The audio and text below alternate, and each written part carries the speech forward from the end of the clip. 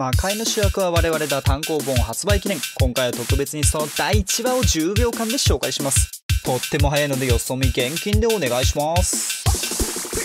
入学するとき決心固めてあまりに憧れ妄想をして生徒会に入団するためトラブルとメタルを巻きかけて寸出のところで助けられたのは我々だのやべえやつスカウトされて入った先は生徒会じゃなく我々バトラーやった言えたいやテイク12だよ俺いや、魔界の主役は我々だ。第1巻と参りました。イルマくん第17巻発売されますので、皆さんよろしくお願いします。